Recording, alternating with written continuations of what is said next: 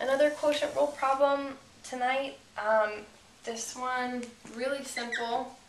f of x equals x plus 1 over x minus 1. Um, let's go ahead and write out the quotient rule um, so that we can see the formula that we're looking at.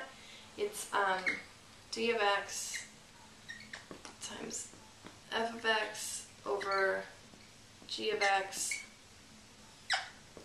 equals f prime of x g of x minus um, f of x g prime of x over g of x squared.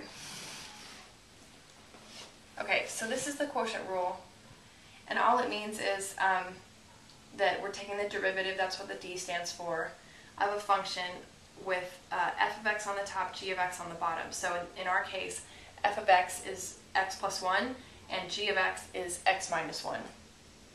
And so in order to take the derivative of this function, we can use this rule um, and apply this formula. So we'll actually say the derivative of um, the top times the bottom minus the top times the derivative of the bottom divided by um, the bottom squared.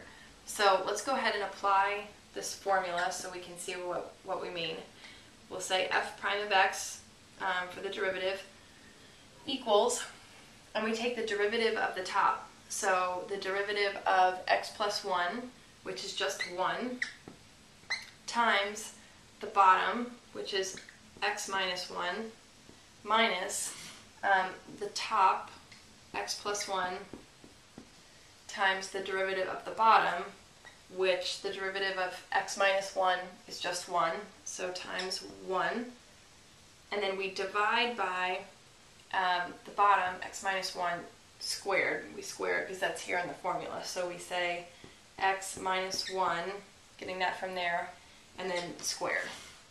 So um, now that we've applied the formula, all we need to do is go ahead and simplify this function to get the final answer. So um, let's go ahead and distribute the 1 here. We, we, um, we multiply 1 by x minus 1, and we just get uh, x minus 1.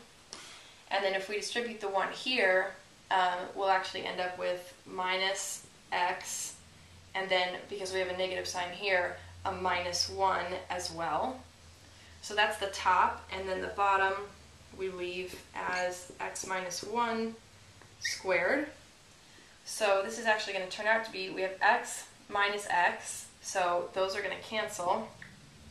And then we have negative 1 minus 1 is actually going to be a negative 2, so we're looking at negative 2 over x minus 1 squared. Um, and that's actually our final answer. All we needed to do was apply the quotient rule to our function um, to get uh, this function here, and then um, distribute these, these terms, combine like terms, and simplify. And this here, negative 2 over x minus 1 squared, is our final answer.